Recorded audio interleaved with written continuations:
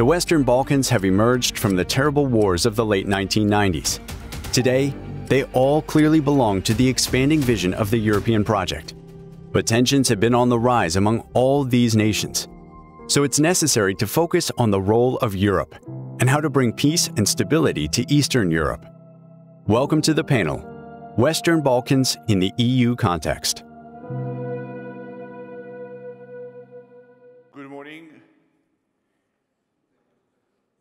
Every day we are starting earlier and earlier. First day we started at 10 o'clock, second day 9.30. Now we are starting at, 8 at 9 o'clock. Uh, it's good that we are coming to the end because probably tomorrow we will start about 6 or 7 o'clock and it will be kind of very uh, complex. Uh, it's my privilege and honor to have such a distinguished panels and to be some kind of host uh, or moderator, however it's called, on an issue that was just announced, not only in the program but in this video, Western Balkans in the EU context. Just uh, some people were discussing yesterday and tomorrow about why we are talking about Western Balkan in EU context, wanted to get prepared for this session. And uh, we had, uh, not so long time ago, when we were putting together the program in Geneva, in our event that we were having uh, with UN colleagues in Geneva, we were discussing about topics that we would have this year. And of course, when we put the overall topic, the world of today, challenges and hopes, you can imagine that out of 10 panels that we wanted to come to, it was really big competition. What are the, the challenges of today's world? What are the top 10 challenges of today's world? And that since every year, it became almost tradition that we are focusing ourselves on Western Balkan in a broader context. We decided to talk not about Western Balkan, but to talk about European Union. And then after discussion, very short discussion, we figured out if we want to talk about the future of European Union as a global player, is in the new geopolitical spectrum, we cannot talk about future of European Union, even if Western Balkan is not part of European Union. So that's the reason why we came to this uh, today's title of our panel.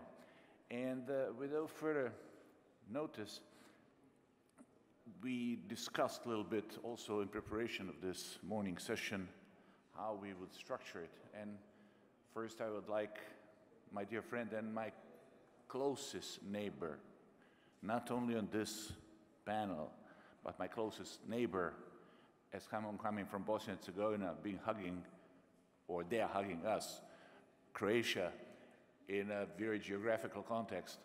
Uh, and that's the reason why my honor and privilege is to ask my dear friend Kolinda Grabar-Kitarović, President of Croatia, to give us a broader perspective of interaction in between major mainstreams that are related to European future, which is EU and NATO in context of Western Balkans. So set the stage, Kolinda, please. Thank you so much, Zlatko. Thank you for that introduction. Good morning, everyone. I hope that um, you're feeling quite awake to follow this very important discussion for the future of the European continent, but I would say for their sake for global stability. Let me, at the outstart, in the context of what you have said, Zlatko, put forward three very important premises. Uh, first of all, the future of the so-called Western Balkans a lot of you know that I don't like that term, which has become official. I prefer uh, politically neutral geographical term of Southeast Europe because of the connotations of the word Balkans, which I think represent a, represents a bit of a psychological barrier for everyone to honestly be able to accept Balkans as part of their house. But the future of the Western Balkans is in the European Union and NATO for those countries who wish to become uh, member states of NATO. It is um, certainly a prerequisite for the resolution of any outstanding bilateral issues that result from uh, the wars of the 90s, but also from previous times as well. And it provides a great blueprint for the necessary democratic, economic, political, and other reforms. Now, the second point is that uh, the incorporation of the countries of the Western Balkans in the European Union does in no way represent, um, as people used to or, or, often say, expansion of the European Union or even uh, enlargement of the European Union. In my opinion, it is consolidation of the European Union because this is a natural part of the EU. This isn't Europe's back, uh, backyard or even front yard. This is part, natural part that will ultimately connect parts of the European Union where this region is currently in between. Third, if the EU wants to become a global player, it necessarily has to incor incorporate these countries and consolidate uh, in the so-called Western Balkans. Now, I remember when in the early 90s, uh, a Belgian foreign minister uh, talked about the EU as an economic giant, uh, as um, geopolitical uh, dwarf and uh, a military worm. Much has changed in between, but with the most recent, recent great disruptor, the war in Ukraine, of course, uh, the um, stability and security with the greatest crisis since World War II, the security and stability on the whole of the European uh, continent has become very volatile. And our own neighborhood uh, represents challenges in that sense because we have seen and we are bound to continue to see uh, the influences of Russia and other third powers who uh, are trying to fill in the vacuum that is being created by not uh, enough progress that these countries are making on the way to the European Union. Now, what does that mean? That certainly means potential for destabilization. And there are issues in our neighborhood from the situation in Bosnia and Herzegovina to the relationship between Serbia and Kosovo, uh, to, um, of course, looking to political events such as elections in our neighboring countries. They certainly will be attempts uh, at uh, projecting instability in the Balkans. Because, quite honestly, uh, if I were in Russia's place today, I would want instability somewhere else, not just on my own borders, for the EU and NATO to focus at least part of their attention in an area that is obviously so important for European security and stability.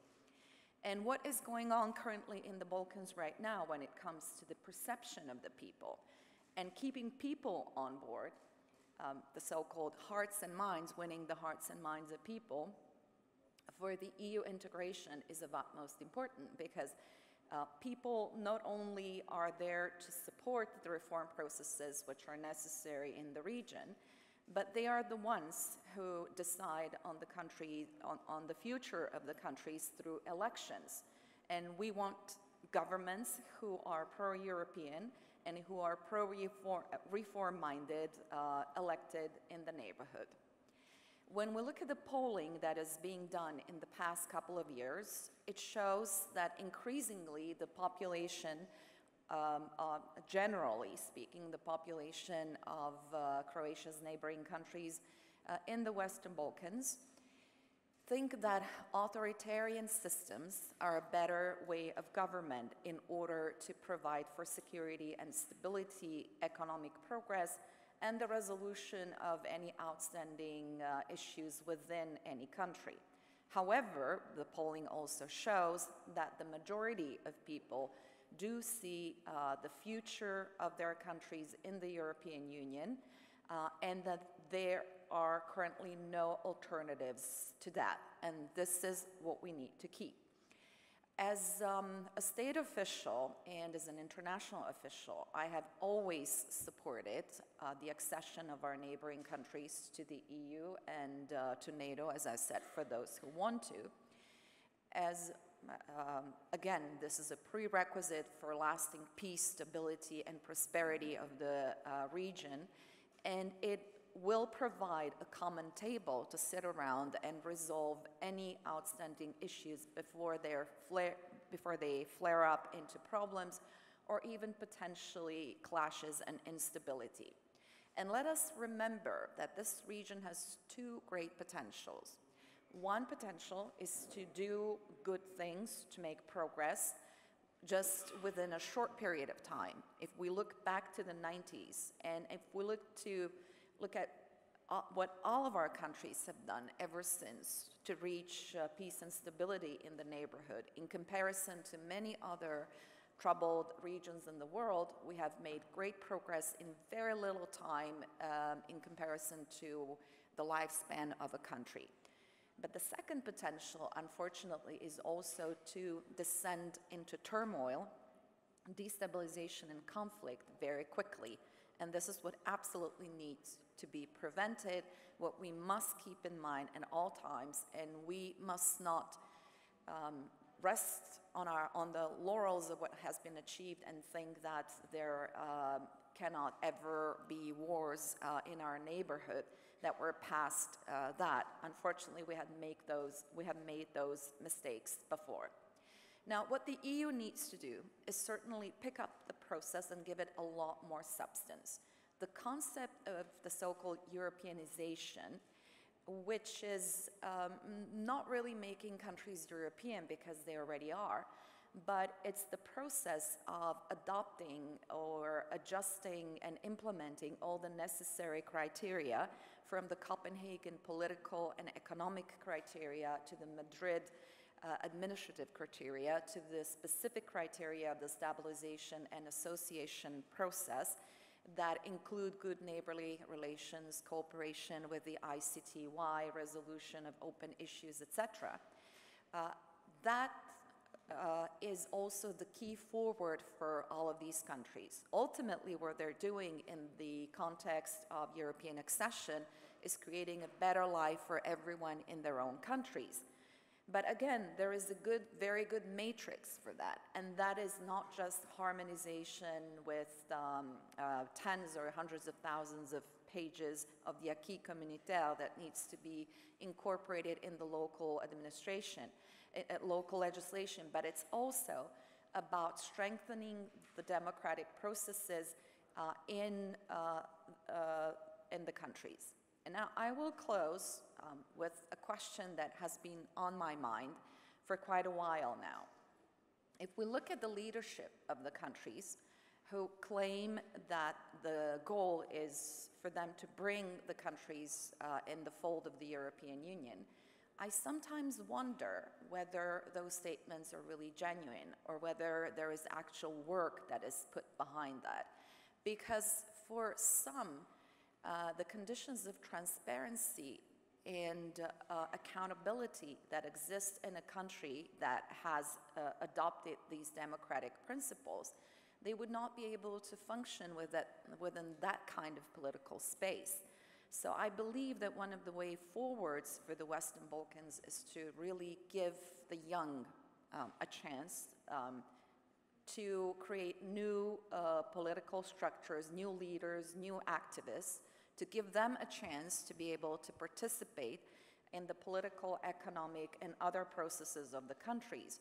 Because when you repeat the same old, same old um, uh, solutions uh, that you've had to the crisis and you actually have not solved the crisis, be they e economic or of any other nature, obviously you're going in, in circles and you have to look forward towards new leadership. So one of the main messages is that we all have to encourage a lot more um, people who are interested in participating in the political and other processes of their countries for the benefit uh, of their own countries and for the benefit of the whole of the European Union. Thank you.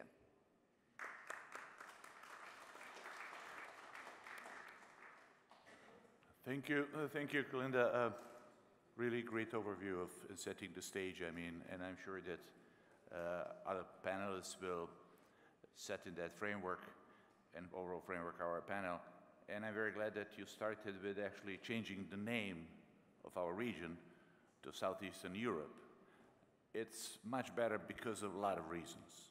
And I'm glad you did it because if I would put it that context, uh, it would be maybe too, it would be viewed different. But when someone who is coming from non-Western Balkan and who used to be Balkan until not so recently, uh, when you're putting that perspective, we should all be seeing ourselves as South and Eastern Europe. It comes to the conclusion that in the end we are Europe, which when you talk about Western Balkan, it looks a little bit far away, especially having in mind when I have Bulgaria, seeing them over there, they become Western Europe for us, which is kind of strange, even in geographical sense. Uh, now, having said so, I would like uh, to ask our next panelist, dear friend Jan Fischer, to reflect on this uh, broader context of Southeastern Europe being, uh, let's say, uh, viewed in a context of broader European Union, broader Europe. And uh, also I would like Jan, having in mind your experience and your professional experience, also to reflect on the issue of having uh, Southeastern Europe called Western Balkan, being supported by the European Union in bigger economic integration, not over some daily invented, who knows what purposes, ideas, but put in a context of the process that we are very uh, enthusiastic about Berlin process and put the life in Berlin process through economic integration of these six countries in between themselves together and having them in European economic community, becoming one economic community before fulfilling those uh, criterias, Copenhagen criteria in full scale. Because sometimes we have a feeling that European Union is offering us that long dream vision as some kind of destruction from the fact that we are still standing there and sometimes we have a feeling that we've been left to stay in a waiting room until the end of our life. So I would like you to, to put uh, emphasis on that issue, how we can on a way to better Europe being integrated slowly and substantially in European, in healthcare, in economy, in Green Deal, and list is not ending with this. So please, Jan. Uh, thank you very much, Zlatko. Firstly, I'm very pleased to be here and to share some of my thoughts or opinion on the Western Balkan EU in relationships, interactions. Uh, I would like to start with one thought you expressed at the very end of your, of your introduction of my, uh, my intervention here. Uh, there is a lot of years we are sitting in many conferences, forums, uh, seminars, I don't know what, talking about the necessity of the speeding up of enlargement, let's say to be in favor of the uh, involvement of Western Balkan countries to the EU uh, environment, EU ecosystem. I don't know what. And time flies. And I would like to uh, attend, join some conference or meeting or forum such as this, with a good feeling that we have the Western Balkan fully integrated in the European Union. That's my, what, that's my dream anyway. I would like to, I would like to, let's say, still catch in my, in my lifetime. Uh, now, outlining my intervention here, I, uh, let's say, selected three topics or issues I would like to talk to, I would like to mention. State of art of the European Union, current state of art of, European Union, uh, then the development, so far development of the interactions between the EU and uh, Western Balkan countries and their perspectives. And finally, I would like to drop some words on the Macron's initiative, which is called uh, Common European Political, uh, Political Community. European Union. Uh, when the European Union woke up in the early morning on uh, 24th of February of the last year when Russia invaded very brutally Ukraine and when the EU at that time looked at the mirror, it could get a very interesting picture. On one hand, and it was time for contemplating and reflecting what has happened, what we neglected, what we did well, and what we, where we failed in the European Union. There are a lot of achievements. Boost, building up and boosting the strong economic, uh, economic markets, which, let's say, shift the, which allows to the EU to play the role of the global actor, global player on the international stage. Uh, legislation, a lot of, uh, let's say, progress in many areas. That's no reason to go through to the list. On the other hand, there are the things when the EU failed underestimating the threats, geopolitical threats, in spite of a lot of warning reports publicly, uh, publicly, uh, let's say, uh, to be, to be available from the side of the intelligence community about Russia, Russian, let's say, appetite to be stronger and to be aggressive. And instead of the proper reaction, namely after, uh, after Crimea in two, uh, 2014, we were in Frival Way, we were building up Nord Stream 2, increasing our fatal dependence on uh, Russia, oil, gas, and now let's say we are paying a toll. Uh, defense system of Europe, security issues, everything was underestimated, undershot, if not neglected. The other problem of the Euro current European Union is the diverging, if not fragmenting. We are living after, in the Europe after, uh, after Brexit. We see the, let's say, drive of the populist, forces, populist parties, populist movements, which are very often even non-systemic, as, as, we call it. Uh, sometimes there is some feeling of extremism, anyway. So, but on the, on the, on the, uh, so in this case, uh, we are, uh, let's say, just frankly speaking, we are very nervous looking in some countries in their election what will come to the power and how will be the attitude of the newly uh, newly elected government in, many, in some countries towards Russia, towards Ukraine, towards European value.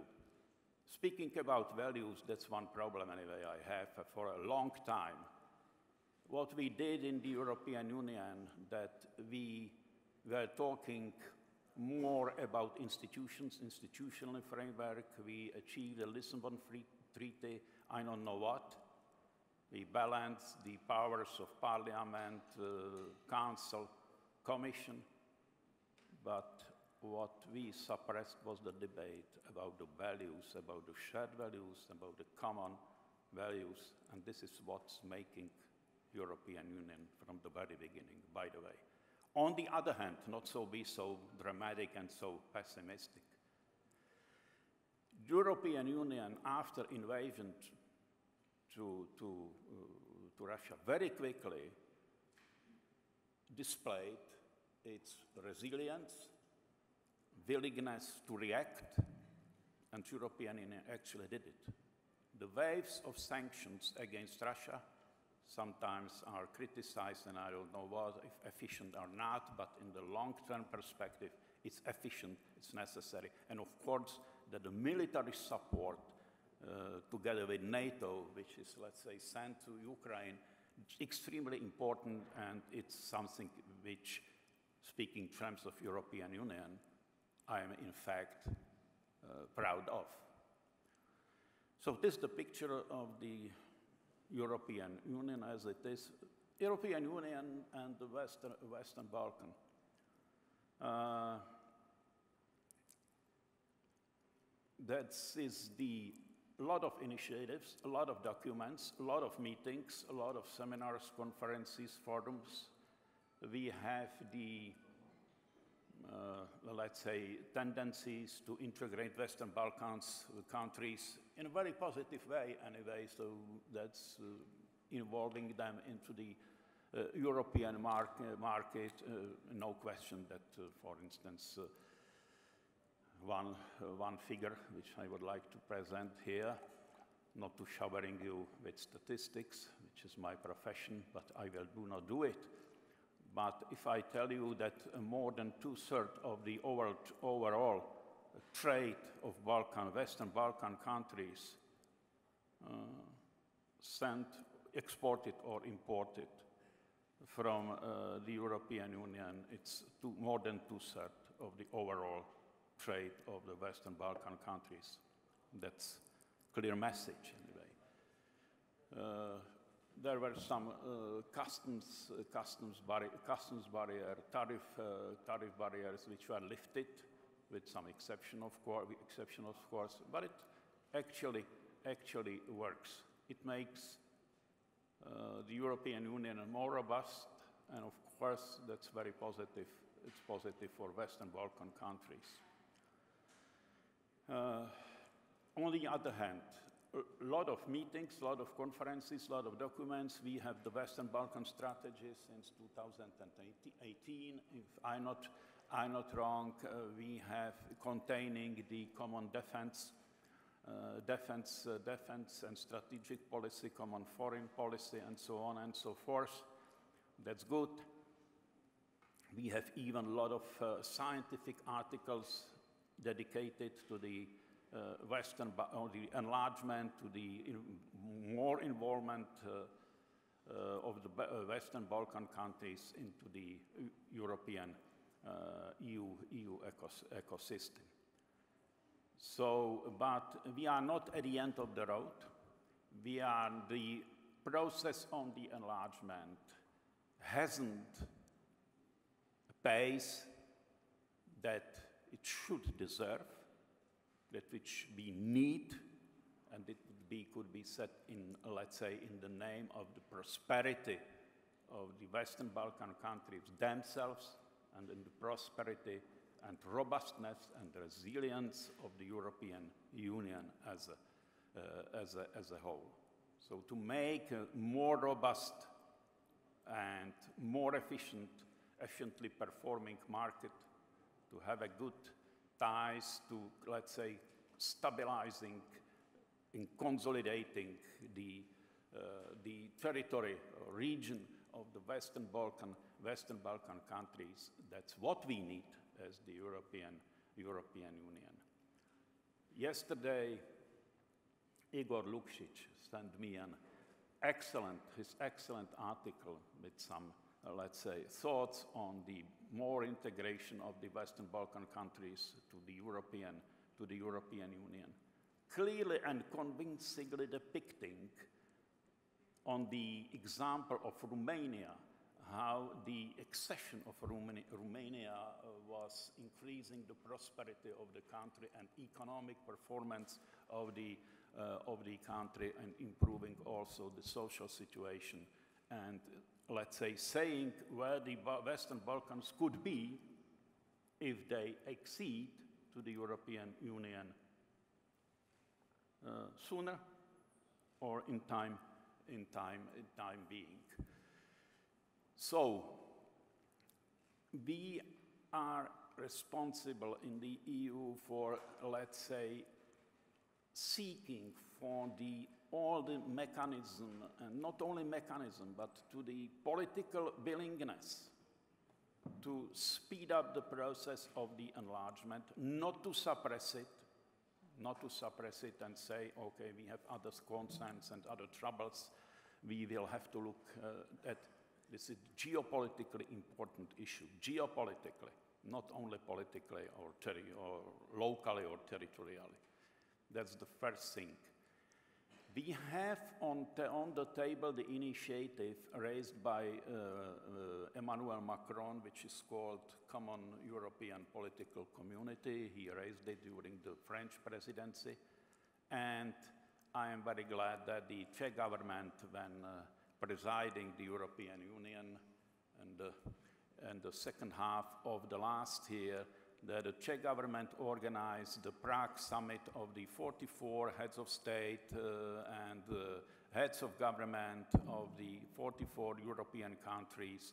This is the initiative which actually could be used to the, as a, could be said, efficient vehicle uh, to ex extend the communication of the EU with others, not only with Western Balkan, but also with Eastern Eastern European, Eastern European countries, neighboring, neighboring, neighboring countries, and, but that's the first step. There's the initiative. Despite I'm usually very pessimistic person, in this case, if you, if you allow me, I would say that I see it, let's say, optimistically. Having on mind there is a lot of protesters or a lot of criticism anyway, saying that there's some kind of new talking shop anyway, and that is something which is replacing the classical enlargement process. I don't think so anyway. And hopefully it, it wouldn't happen. So let's use the initiative concretely. Uh, let's uh, they idea, idea is fantastic. Suggestion, proposals, initiatives, and, but the, what we call operalization of them. This is the most important thing.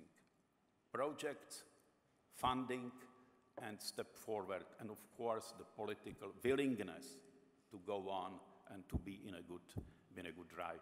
So I believe that in my lifetime I still catch to see at least some of Western Balkan countries to sit with us in the European Union and participating on the activities of all the bodies, Parliament, Council, uh, Commission, and I think that this region deserves it and the European Union needs it. Thank you.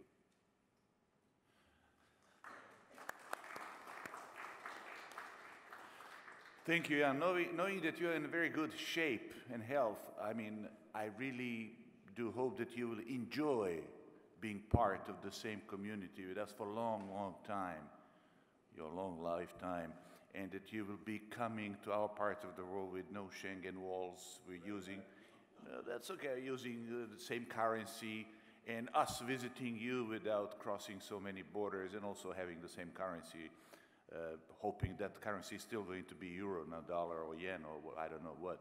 Uh, so, so I do really hope that we will get closer to each other in sooner period rather than later. And I really wish you good health in every aspect of that meaning. Uh, uh of course, now we are moving to uh, uh, our dear friend Peter Stoyanov, who is not only coming from Bulgaria, but he is someone who was always, since I got it in here, this family of NGIC, we're always talking about, and he was one of the most enthusiastic among us to be uh, seeing us in the same same family of European, European family, all of us, because they miss us, obviously. Since they got into Euro, EU, European Union, they somehow went further away from us, and he wants to be us, to be there again, together, not in a waiting room, but in a real, real room where they are already in. Having said so, I think that uh, I know that uh, Peter, you're always having interesting ideas about the perspective of security. Oh, I'm sure, I'm sure, but I, I just want you to, uh, to ask you humbly, if it is possible, to tell us, is it possible that in, let's say, when seven, eight years, when we become the same, member of the same structure, are you going to be going back to Balkan or together with overall Europe? Or we are going to be Europe as well? Uh, thank you very much, Mr. Panel Leader. Actually, we have been discussing this topic since the very beginning of Nizami Ganjavi International Center, but now we have to put it in a completely different geopolitical context. And in order to be brief, I have prepared some, some remarks. And the title of my statement could be The Western Balkans in the Context of the European Union, a story between two wars because the developments in the Western Balkans, including the aspiration of the six countries for EU membership, have been taking place in the period between the two only, the only two wars on the European continent after the Second World War. The war on the territory of former Yugoslavia and today's war on the territory of Ukraine as a result of the aggression of the Russian Federation. In fact, the European integration of the Western Balkan states was put for discussion for the first time just after the end of the war in Yugoslavia. And the current war in Ukraine once again triggered the issue of the EU enlargement towards the Western Balkans. After the disintegration of former Yugoslavia, the newly independent states saw their future in the EU not only as a guarantee against new wars, but also as an opportunity for rapid economic recovery, a road to democracy, prosperity, and the rule of law. The EU also welcomed the desire of the former Yugoslav republics and Albania. We have to underline that, plus Albania to join, seeing it as an opportunity to transform this historically troubled region from the powder keg, as it was known in the past, into an inseparable and peaceful part of the European Union. Moreover, after the accession of Romania, Bulgaria, Slovenia and Croatia to the European Union, the six Western Balkan countries found themselves as an enclave surrounded on all sides by new EU neighbors plus Greece. And so, the process which began after the events in former Yugoslavia continued with its highs and occasional lows, but always in a predictable pathway. The candidate countries never gave up their categorical desire for European membership and for its part Brussels has always and also categorically confirmed its readiness for such membership. This was the situation until the war in Ukraine, which suddenly changed the geopolitical emphasis and the attention of Brussels from the southeast shifted quite logically, by the way, to the northeast. And during his last visit to Brussels, February this year, President Zelensky requested from the European Union to speed up the procedure for Ukraine's EU membership. In her speech, Madame von der Leyen responded, Ukraine is advancing on its European path in an impressive manner, and your track record shows that you are able to deliver fast and with high quality, even as you fight an aggressor, even as you are at war. Frankly speaking, Madame von der Leyen didn't forget to underline that accession is a merits-based process, which means that Ukraine should meet some criteria. What is the news from Brussels? The European Commission is set to release its assessment of Ukraine's progress later this year. Moldova was also approved as an EU candidate together with Ukraine in June last year, and there is a European future for Georgia when the country, of course, fulfills the preliminary criteria. Against the background of what is happening in Ukraine, President Zelensky's call for immediate membership of Ukraine in the European Union is more than logical. The EU also sees the obvious benefits of having a country on its borders that shares European values, of course, provided that Ukraine fulfills the membership criteria. But what is completely new? For the first time in its history, the European Union will be facing such a case to negotiate membership with a country which is at war. Everyone understands that the European Union accession negotiations with Ukraine are extremely important because they strongly encourage the country in its struggle for independence and territorial integrity.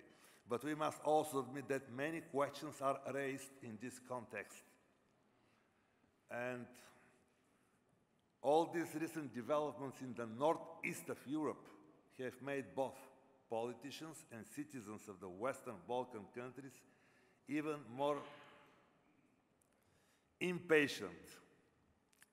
And they continue to reiterate even more clearly their aspiration for EU membership. This time they're doing it in a completely changed geopolitical environment and against the backdrop of a new war in Europe. So, I entitled my speech A Story of the Western Balkans Between Two Wars exactly because each of these wars has its own strong impact on the European perspective of the six Western Balkan countries. But let's go back to the beginning and recall what exactly happened in the years between the two wars. I remember vividly, 1999, the EU Council established the Stabilization and Association process, confirming that the Western Balkan seas would be eligible for EU membership if they met, again, if they met the Copenhagen criteria. Additional requirements refer to the rule of law, freedom of expression, civil society, regional cooperation, good neighborly relations. At the EU Western Balkan Summit held in 2003 in Thessaloniki, the European Union reaffirmed that the future of the Western Balkans is within the EU. 2014, the Berlin process was initiated by German federal government and joined by Austria, France, Italy, etc., etc. Also showed once again the support to the Western Balkan countries. There were also talks in Sofia 2018, talks in Zagreb 2020. In June 2022, when the decisions about Ukraine, Moldova, and Georgia were taken, EU leaders expressed once again their full and clear commitment to the EU membership perspective of the Western Balkans. What is the most important task that the six countries have to complete today against the backdrop of the war in Ukraine? In my view, this is to make themselves look as one community which is ready to join the European Union rather than as individual countries each of them striving to meet the accession criteria. This means, first of all, the ability to resolve their previous conflicts in advance, but also their willingness to resolve all future conflicts in accordance with European standards and criteria. I know this is not easy, not at all. But the historical disputes must give way to regional cooperation. And one thing should be clear, after the last Balkan War, it is regional cooperation that proved to be pivotal in advancing the EU agenda for the region in a number of fields, from trade, liberalization, market opening, to police cooperation, and visa liberalization, promoting stability and economic growth. Regional integration among Western Balkan countries would prepare them for a smoother integration with the EU, also reinforcing EU rules in a region characterized by continuous political and economic instability. Unfortunately, in the last decade, the EU integration efforts in the Western Balkans did not produce impressive results, and we have to confess that. Moreover, this started to result into feelings of disappointment with the West, both from a political and economic perspective amongst the people in the Western Balkans. The enlargement fatigue has been cited as a reason for slowing down the enlargement process. I remember vividly that after Croatia joined the European Union, the then President of the European Commission, Jean-Claude Juncker, expressed doubts that the European Union would expand during his mandate. In my opinion, those times are gone in the face of the war in Ukraine. The war in Ukraine has shown how vulnerable the European continent can be and have once again put on the agenda and shown how important the political and not only the technical accession criteria are for the enlargement process. Thank you very much, Chairman.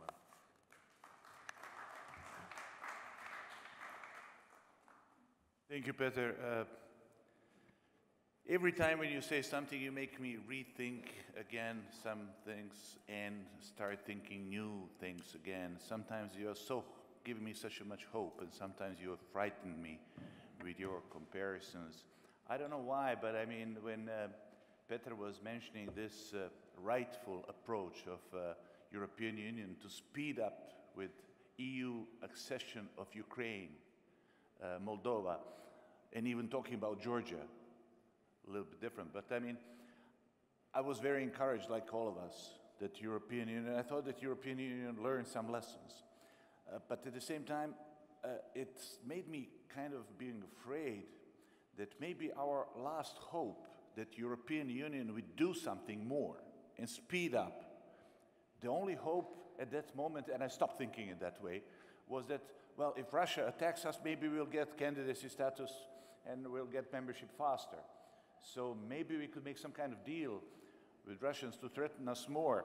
I mean, uh, I'm not going that far to attack because it would be kind of very complicated. If Lavrov couldn't fly to Belgrade because of his plane being banned, then I'm sure that it's not possible to expect that soldiers fly over European Union to us. But having in mind so many things that were happening to us, I wouldn't even be surprised that you uh, sometimes uh, let it do it.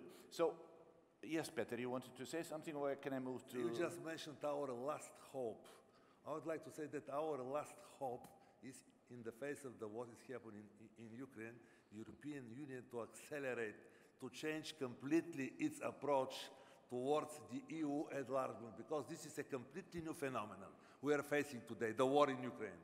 Definitely, definitely, I agree. Sorry for interrupting. No, no, you, no, no, no. You made this a little bit more interesting even to myself, and I, and I hope we woke up some people in this room uh, after such a long night. Uh, so I, I do strongly agree with you, and I strongly welcome your, your, your calls to your own European Union members, family that you are, that this is not a technical question only, and it is more geopolitical and geostrategic and security issue than ever before since the fall of Berlin Wall. So in that respect, we really do share the thoughts, and I think it's very good that we send that message that we should uh, finally learned the lesson that we should speed up the process, not only talking about the future. When I hear the word you, you have, uh, we are offering you a European future. It actually looks like they are making jokes with us because opening us, uh, uh, offering us future, uh, it's, it's, it may be comforting, but it is becoming more, let's say, uh, sending best messages. We don't know future. We don't want future. We will have future even without you guys, without European Union. We'll have future. The only problem that if you don't speed up, that's our message from Western Balkan sometimes. If you don't speed up integrating overall European space, including Western Balkan and going beyond, as a community of values and the same institutions and the same structures, you is, are going to become like us.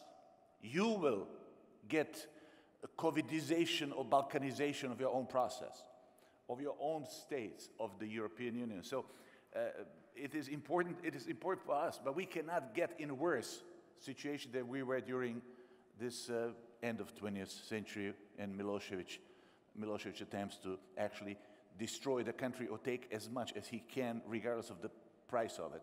And of course, Hague is full of the people and was full of the people who were committed ultimately as war criminals because of that policy. So it is very important that you speed up because of yourself. That's the message from Western Balkan to people in Europe. And I'm so help, and I know I'm preaching to a choir. I know that in here we have really advocates, President Constantinescu, Peter, Jan, and of course Kolinda. I mean, as our advocates in Europe, members of our say family like we are, that you want to be with us, that we are not some someone from Provence, uh, some poor, poor relative that you just like to see on the distance. So anyway, President uh, Constantinescu, Emil, the floor is yours, and I won't tell you what, what I'm expecting you, from you because you always surprise us positively, so please. In my, thank you, Lagumdzija. In my brief intervention, um, I would like to insist upon an idea that I uh, find highly important uh, now in light of the war in Ukraine and its uh, regional and uh, global uh, implications. Uh, the falsifying of recent history by Putin, present in all his speeches, would um, uh, not have been possible um, had the real history of the fall of communist dictatorship of Eastern Europe and uh, especially of the Balkans um, been correctly presented. The um, peaceful exchange of dictatorship um, with democratic regimes occurred under the uh, leadership of uh, distinguished men from Eastern Europe, uh, bearing um, a democratic vision, who um, had a strong influence of the peoples of Russia and Eastern Europe. It was later accompanied by the understanding of uh, visionary uh, leaders of the West who uh, supported a generous project of European integration of the former communist countries. a part of this leader um, that I used to know are no longer with us. Another part are right here in this conference. And um, this is very, in this very panel. And I believe uh, that is our uh, duty to introduce uh, the experience uh, we lived. Um, there is um, a difference in the manner in which the historical phenomena have been described throughout time, depending on the interest of each society. Maybe in the most uh, eloquent uh, example is the manner in which the Balkans uh, have been presented. history is not merely an expression of figures and events, but also the story of uh, each uh, human being is an intersection between uh, history and biography. in time, I understood the difference um, between um, history learned as a succession of events, history uh, understood as a connection of events, history lived as a personal experience, and uh, the manner in which this experience belongs to some personalities who, by their decision, can influence the evolution of or the involution of nation or state, along with the manner in which this influence can become a lesson for other uh, generations. Uh, the greatest uh, conflict uh, that marked uh, the 1990s was uh, that of Bosnia-Herzegovina. And we have today the change of having among us Zlatko Lagumdzija, Mladen Ivanic, who were president of Bosnia-Herzegovina.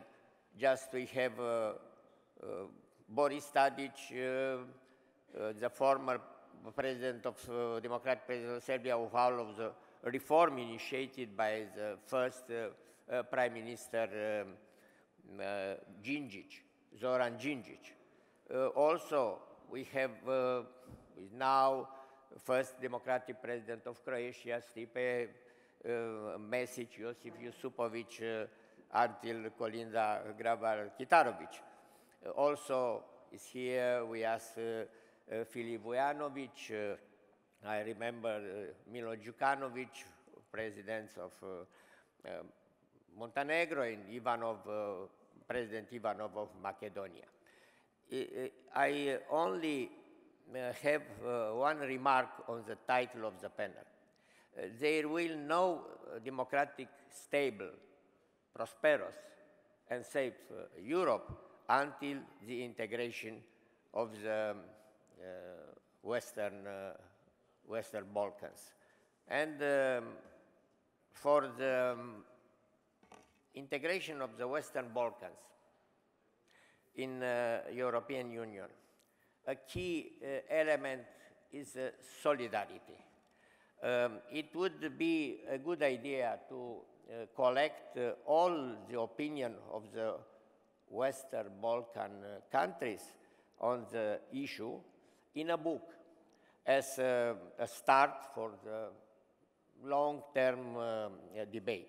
Such a book uh, could be accomplished by the Nizami uh, Ganjavi uh, International Center.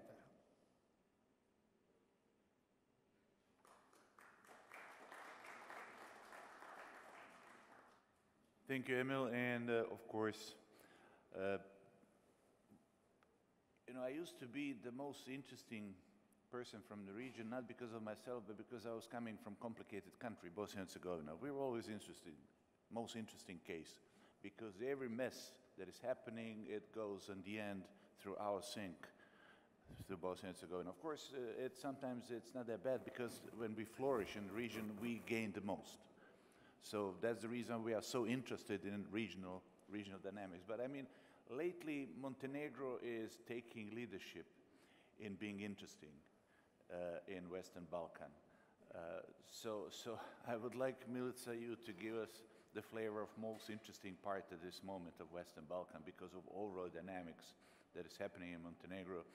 You are so far away from us because you are in NATO, I mean from us in Bosnia and Herzegovina, you are in NATO, you started your, you have your, your negotiating chapters and so on, but at the same time, uh, there are some moves uh, that are pushing Montenegro go in wrong direction, go backwards, and sometimes I have a feeling that you are taking lead from us as being most complicated and vulnerable part of the region. I hope I'm wrong, and I'm sure that having in mind uh, the overall political spectrum in Montenegro, that this is just temporary and not permanent hiccup that you are going through, that you will again lead us, and uh, especially we are very eager in Bosnia and Herzegovina to see you speeding up in the right direction. And if you are, if we are getting squeezed and hugged by Croatia and speeding up Montenegro, I'm sure that Serbia will learn lessons as well. So let's hear a view from Montenegro at this moment about Montenegro being such a small part of Europe and such a small part of hope of European Union, but such important part of overall dynamics in Western Balkan and in European security and uh, Europe of values context that we hope that we will be witnessing more. So Milica, please. Well, Zlatko, it wasn't a very nice introduction, but uh, I appreciate it very much because, uh, first of all, I do believe that uh, uh we need to talk, especially on forum like this, where there is so many experienced, distinguished participants, that we should uh, put this political correctness aside. There is too much political correctness the, in public narrative, and uh, there is no solution for our real problems. So probably what is happening in Western Balkans and uh, specifically in Montenegro these days is um, part a result of such an approach where we are very much um, eager to just embellish everything in talking about um, achievements, about the goals, but not really looking deeper into the problems. And I do believe that NGIC as a forum, as a such, here in the panel and outside the panel in uh, discussions and exchanges among us could be very instrumental and helpful in providing what we do need. And we do need specific advices, we do need real solutions in order to get where we are hoping to be. So you all know, I'm quite sure, because you've been discussing that previous years, despite this little break due to COVID and pandemic, that Montenegro was at the forefront of the European integrations when this region of Western Balkans or our part of Southeastern Europe is concerned.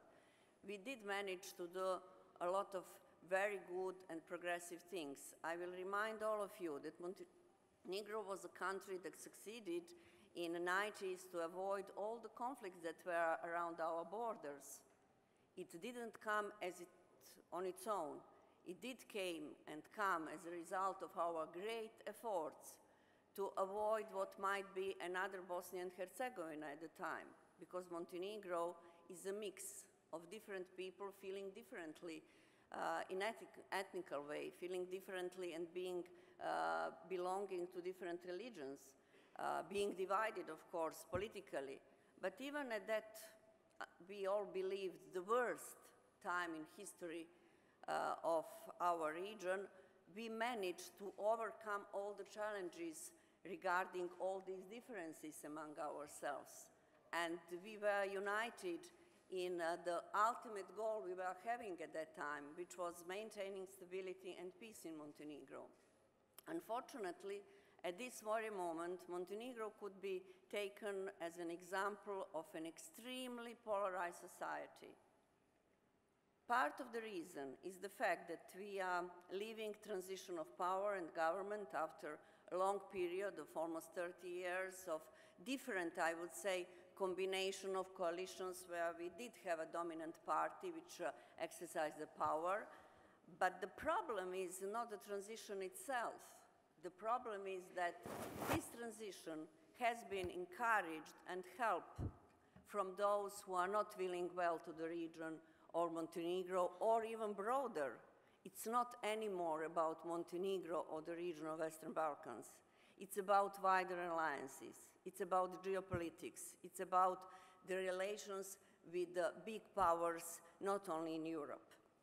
So from that point, of course, the um, invasion of Russia to Ukraine is something which is having very strong reflections in Montenegro, maybe not the ones we fear at the very beginning, but still very, very uh, visible reflections where actually uh, all tools of the hybrid war you can think about are applied at this very moment in Montenegro, especially as we are approaching uh, presidential elections in um, two weeks or less, two weeks. We are having everything which you could be imagining as a tools of information warfare. So very much adapted to 21st century. It's not what we used to have in the past at the time of Cold War and what we called Russian propaganda. No, now it's much more sophisticated. So we are having all kind of disinformation, fake news, even cyber attacks. I will always also remind you that um, end of August last year, we did have a massive cyber attack, not only on government, but on all networks in Montenegro, websites and databases. Still recovering. It's more than six months now. It was so sophisticated and so well done. Of course, we did have all kind of supports from our partners, and in all what we are living these days and months, and already we are in a third year now or more, uh, that uh, support we are having from our partners is invaluable. And that is where it comes so uh, evident to everyone. So to ones who even did have some doubts in the past, why Montenegro membership in NATO was so crucial and so important. Without that, small country, that's true. Small country, beautiful country, but small country means limited resources. Challenges and threats are not limited. They are the same as for the big country. So in making a right response to them, we do need to be a part of large alliances. From the point of security, it's NATO, and I believe that it's working. It's working because if we haven't been in NATO all this time, who knows what we would be talking about today. On the other side, of course, when it comes to European integration, I am so sorry to inform all of you that from the country which was the leader in the process, we are now somewhere on the verge of complete blockade of our path towards European Union from Brussels and from the member states because they are also worried what is happening in Montenegro, what is with the support to European values at the uh, first place. There is no, no at all dynamics in uh, what the reform process were. Everything is just stopped. For how long we will be uh, seeing that very soon, but what we do need there is again um, a kind of uh, much uh, better presence of European Union and member states, of course, in the region and in Montenegro. Quite frankly, of course, we've got to say that uh, European Union stepped forward at the time of COVID, that um, uh, support to our health systems all over the region, economic support was substantial. But mind you, the perception of our population is not actually of that kind to recognize what have happened in these months and in these couple of years. So still, you are having that kind of inclination towards some uh, kind of um, uh, state orders where more authoritarian uh, regime is present and you are having very strange perception uh, shown in different polls. For example, the other day I just saw that in Montenegro, it's still around 80% of population who are very much supporting uh, our efforts towards becoming European Union member. But on the other side, you are having something like 41, 42% of population who do think that all bad things and all deviative phenomena are coming from that European Union and the West, which means that we are having a problem with really recognizing what and accepting those uh, European values, or I would say values which are linked with liberal democracy, with free market, with uh, human rights and freedoms. And why is that happening? Because that kind of influence we are having from third parties, from Russia in the first place, and their proxies in the region and in Montenegro are so present and powerful that we do need to show with specific, concrete actions further on what we are talking about and why we are advocating for the um, region and for Montenegro specifically to be a part of that uh, larger family. We do know, of course, that it's a two-way process and no one is asking for any shortcuts. It's quite clear. So for two-way process to be effective, we do need our partners to remind whoever in power is that uh, there is no alternative to what has to be done to, in the societies like ours. And they've got to encourage those who are really believing in these values to help them put that forward and explain it better. I would say that when it comes to those explanations specifically or generally to public communication on things like we did have at the time of pandemic we haven't proved to be very much experienced. There is something missing there. So from that point, I also believe there is a room to think strategically and to see how this communication should be led further on. Putting forward, of course, everything which is related, not only with that general story about the values and the democracy and human rights, but about everyday life. Because we've got to be aware that uh, all our citizens are very worried. They are living in that period of great uncertainties due to pandemic we had, due to very high inflation, due to fear of all the recession, loss of jobs and everything. So we've got to show how we could go forward with overcoming all these kind of challenges, which are not only these geostrategical issues we are putting forward. So there we do need to be together.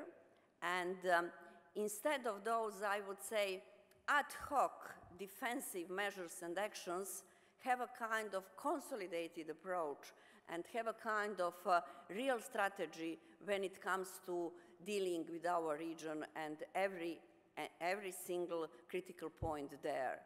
Uh, I do believe that um, the general message, you belong to European Union, is not sufficient anymore. It's not sufficient, of course, from the point of European Union members, because they're also having uh, certain challenges uh, with their citizens. So we've got to be present more. We've got to demonstrate why the region and every single country in the region is bringing some added values to the Union.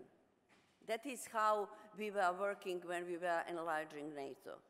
So when it comes to European Union, I do believe that every single country in the region of Western Balkans, of Southeastern Europe, is having these capacities to bring something new and to further consolidate the Union. So being with you means that you wouldn't be having uh, situations where you are constantly thinking about the problems in the region, we would be solving that together. Thank you.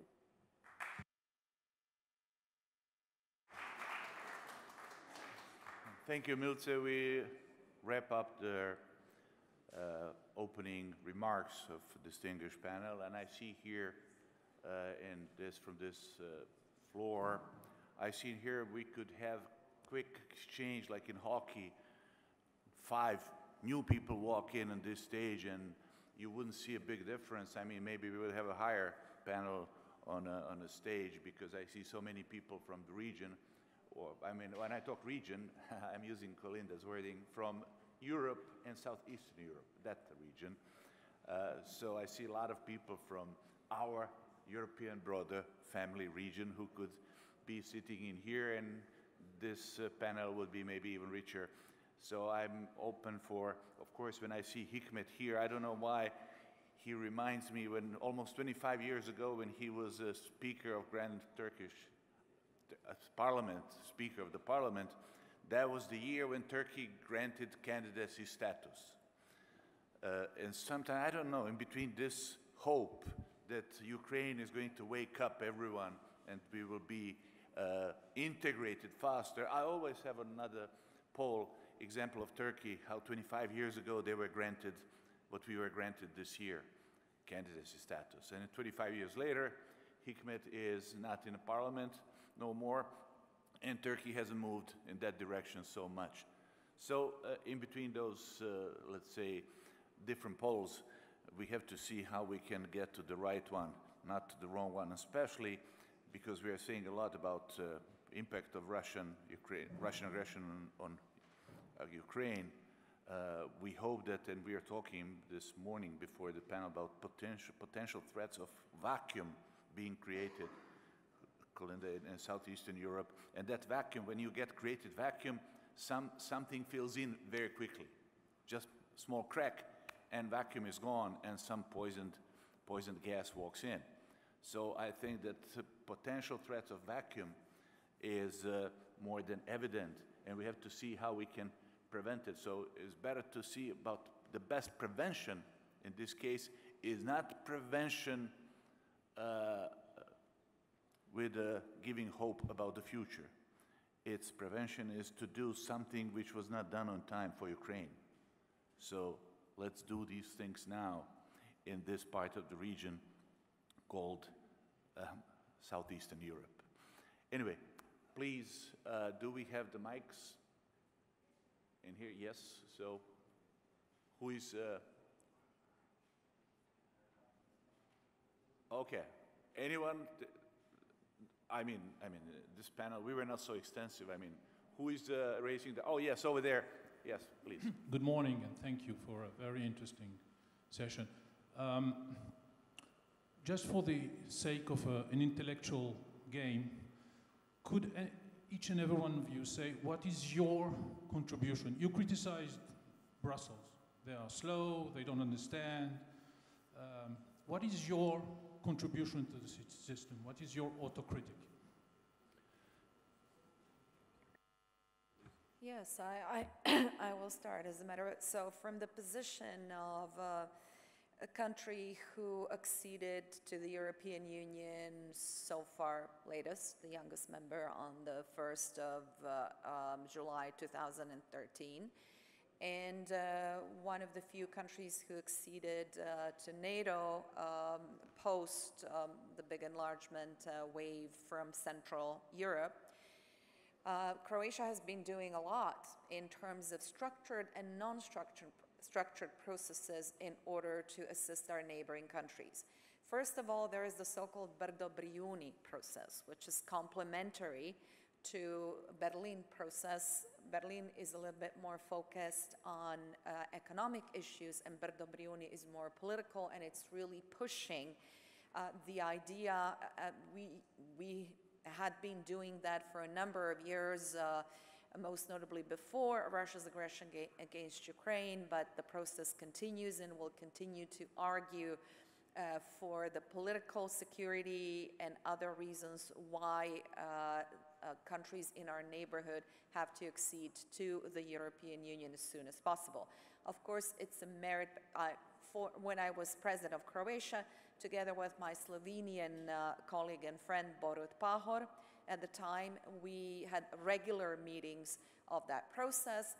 And uh, for one of the special meetings, the then Vice President of the United States, Joe Biden, uh, came and stayed with us for an entire day to discuss the issues of NATO accession for those countries who want to, and for EU accession uh, um, for everyone.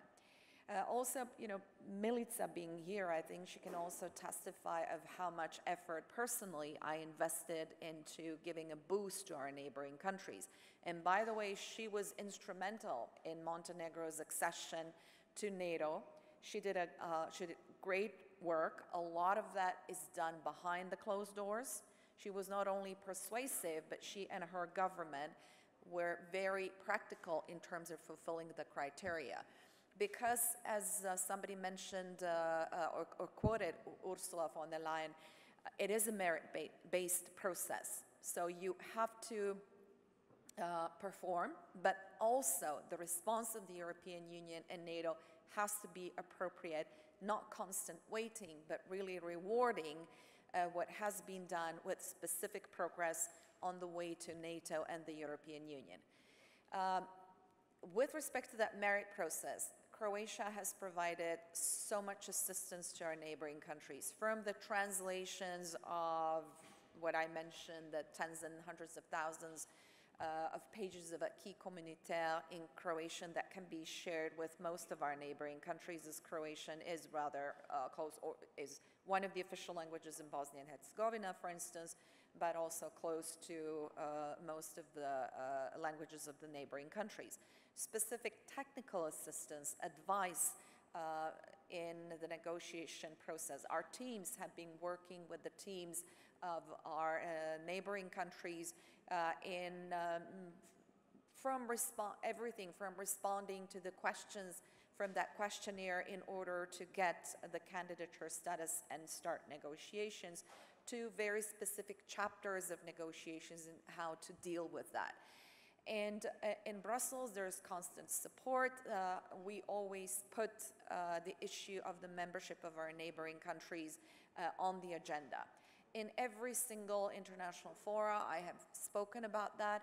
And as a matter of fact, I think it was here in Baku last year, uh, um, approximately at the time when Ukraine and Moldova were granted candidature status.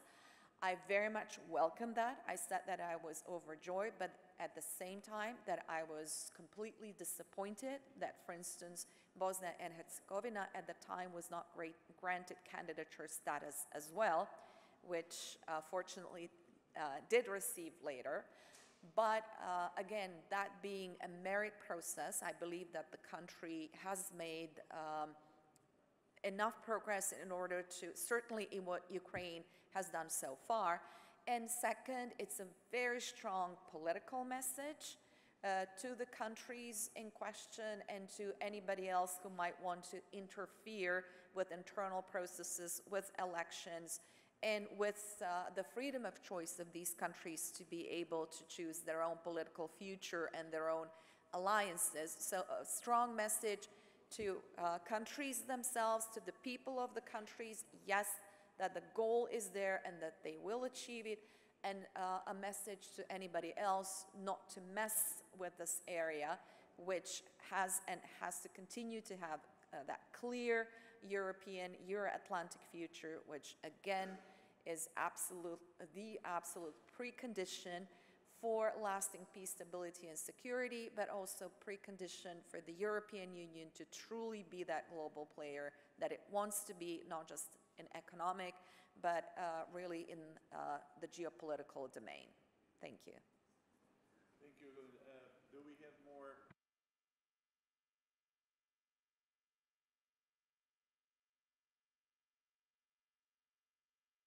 Okay, so Great. it. Okay. So. But very briefly, thank you for the question. I am not aware of the, uh, of the using of the word Brussels. I never have done it, anyway, during my, during my talk here. Because there is no, uh, I don't, uh, let's say, uh, see as the Brussels as the same as the European Union actually is. When I spoke about the European Union, I have in mind the European leaders, European, all the structures, and not only Brussels, anyway, the first thing. The second thing, that's the difference, what you can do as an active politician or someone who is, let's say, doing something which has to be, let's say, effective, and, as, and what you can do as a retired person, as I actually, actually am. The first of all, as I served as the Prime Minister of the Czech Republic and as I served as the, uh, let's say, President of the European Union during the presidency in 2009, I consequently, consistently support this idea of the enlargement to speeding up, and it was still before Croatia acceded to the European, Euro European Union using the same wording that I used here. Then it was, it was during my, my, uh, my time in the position of the Prime Minister, Czech Prime Minister. Then I was working for the, Europe, uh, for the European Bank for Reconstruction and Development uh, for more than two years. Uh, and as a vice president of this institution, I have in my uh, in my portfolio the, what we could say, the foreign policy of the bank, and Balkan region, Western Balkan region was one of my, uh, let's say, region where I was focused very much and very systematically. I've got a lot of ties there with not only with big, big, big wigs, but also with scientists, with universities, and so on. At that time, I consistently supported the idea of the speeding up of the enlargement process in this, uh, in this region. What I'm doing now, everything what I'm doing in the public sector, uh, in the public space, and what is, let's say, concerning the Western Balkan on some conferences, on the forums which we have here in Baku, the conferences which was held, I think, twice in uh, Sarajevo, and in uh, other places, I con consistently support this uh, this, uh, this idea of speeding up of uh, enlargement, of also urging of the politicians of my country to, to, to do it.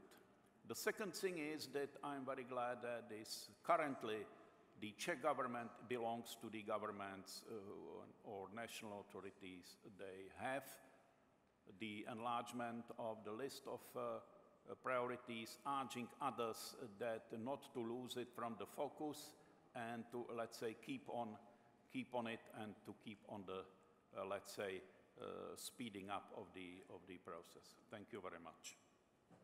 Thank you. You want to proceed, uh, Petar? And, and okay. Reflection on this. Answering your questions, I don't think that some of us are blaming the European Union. Uh, bring Mike up there. What, yeah. what I wanted to say, for example, in my short statement was that the European Union is facing a completely, completely different geopolitical situation. Nothing is like during the past, believe me. First of all, no one knows how long the war in Ukraine is going to last.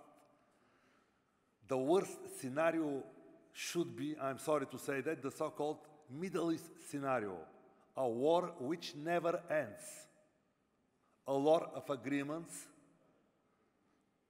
will be signed, a lot of things should be done, but people on the both sides of the border continue to live under pressure. And facing such a situation, the European Union should take completely different decisions. That was my point. I don't have uh, the solution what exactly Brussels should do. Just now I realized very well that uh, as an institution, the European Union is a heavy machine. It will take time to rethink what is happening, but something should be done. We can say stop to this routine And this is in our common interest. Thank you.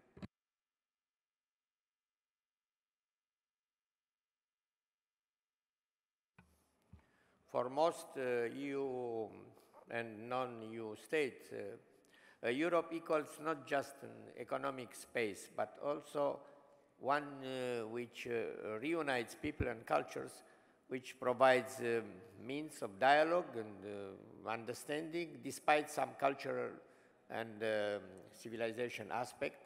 And finally, a way of describing the half a billion of population that display different citizenship, different national histories and uh, inherent uh, traumas, uh, different languages. Uh, nevertheless, uh, they are all united in diversity, which has been a slogan for the EU for um, a long time. Europe needs to be perceived as being more uh, than just a common market and a free movement area with some limitations. The war in Ukraine has uh, pointed out that Europe began uh, taking a common denominator stand in critical issues. And uh, this could not have been possible without the inner resort that had been uh, put in place by a common market and were then extended to other fields.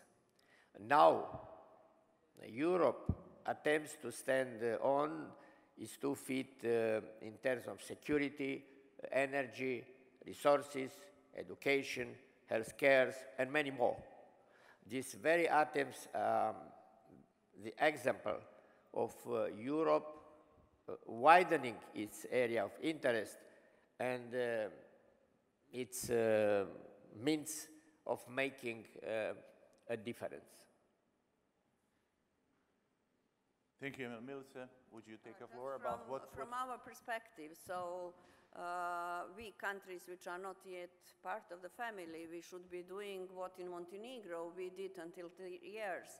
So implementing sometimes even painful reforms, gathering all resources together, which uh, brings us at the time, at the point to have uh, in the negotiation process as it was designed before this new methodology, uh, to have all chapters open, to have three chapters closed, and to be recognized as a front runner.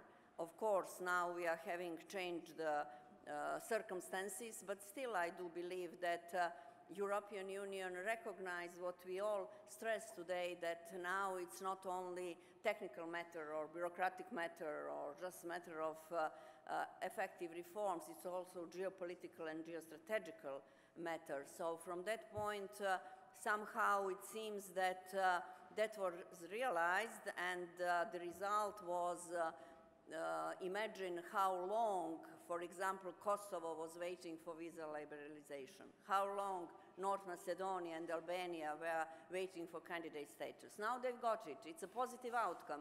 So let's hope that this momentum is going to hold on and that uh, this momentum will be applied now in this new methodology of negotiation and that political elites in the country would be pushed towards really working on what is on agenda. Thank you, Milica. Uh, if I can uh, say a few words in uh, wrapping up this question that is summarizing so many issues inside, uh, I think it's uh, First of all, it's an excellent question. Uh, what did you do about it, us? I think first we have to define who is you. Uh, you is us. Our uh, title of our panel could be Europe in context. Because Western Balkan in the EU context is actually Europe in context. So there's no you or you. There's no you or you. Europe, Western Balkan European Union, we are us. So you cannot say, what did you do? But what we all did because it's us.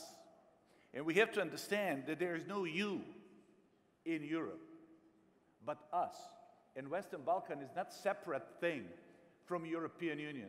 As far as it is, we all have a problem, and you and us. What I want to say is very clearly is, and I'll give you a precise perspective of the guinea pig that is participating in this experiment. The guinea pig is six of us. We are guinea pigs right now. But we went through so many processes that we almost got the science, the brain of the scientist. So sometimes we have a feeling that we are not the only guinea pigs, that you are also guinea pigs, you are who are in the rest of the European Union, together with us. What I want to say is very clearly is, I'll give you a very precise example.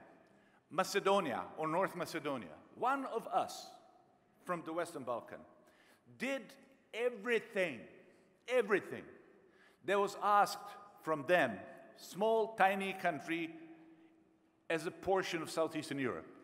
They did everything that was asked for. They even changed the name of the country. Who out of you would be ready to change the name of the country to get someplace? Who? And us in Western Balkan, everything is all about symbolism. We were in a bloody wars because of symbols. So can you imagine that some of us changed the name of your own country in order to get in to bigger family which we belong to? Now, what happened to that one of us who changed the name on a request of the big Massa in Brussels, Massa Bob? What did European Union responded? European Union did not grant to North Macedonia or Macedonia, they did not give them the date of the beginning of the negotiations for the opening the process of getting into the EU. Can you imagine? They were not given a date, date that will come anyway. They were not getting into European Union because they fulfilled the issues, including changing their names. Now, one sixth of the GDP of the globe is produced today in the European Union. One sixth. About 16.6 trillion dollars. All of us, not us in Europe, but us in Western Balkan, all of us are less than 0.1% of GDP of that big Masabob GDP, um, Brussels GDP, European Union GDP. We are less than 1, 0.1% of GDP of that big pie. So someone is saying, well, there's not enough. What is, do you have economic capacity to do the job? Of course you do. But then the question remains, I won't go that far to say, like, I have some friends, very distinguished friends from the European Union, all leaders of, real leaders of European Union, who were questioning, does European Union have a moral capacity to do the job? I won't go that far. But does the European Union have a political and institutional capacity to do the job? That's the question.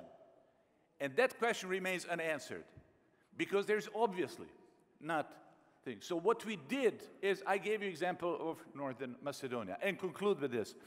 Uh, you see, it's um, when Dayton Peace Accord was fulfilled and uh, we stopped the war. I saw how many imperfections in that peace accord was. And then one day I was debating against the Dayton Peace Accord internally, and I said one sentence but Dayton Peace Accord brought us nothing but the peace.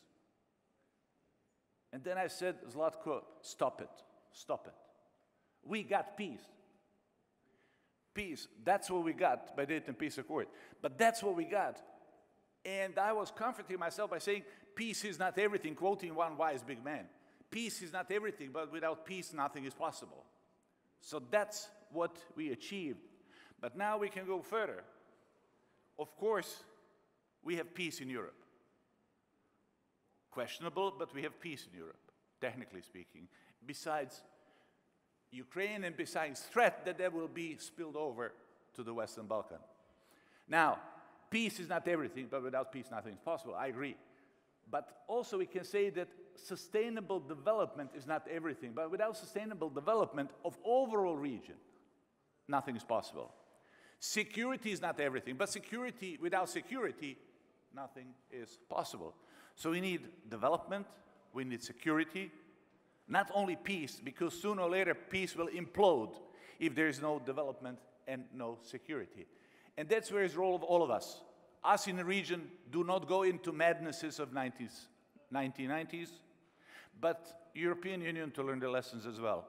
I'm sorry that today we, had, we have no American perspective in here because uh, uh, American perspective is very important one and shows very clearly that uh, America is, United States of America is maybe still the most important European country, at least when it comes to Western Balkan. When it comes to Western Balkan, unfortunately, that is the case. So maybe that's the reason, the fact that Americans have to walk in Western Balkan because European Union is not enough. Of course we are not enough. But it looks like there's more of us that have to be together. So thank you very much. And there is a big signal here, you don't see it. It's a red light. It says time is up. Time is up is telling me that this session is, time is up for this session.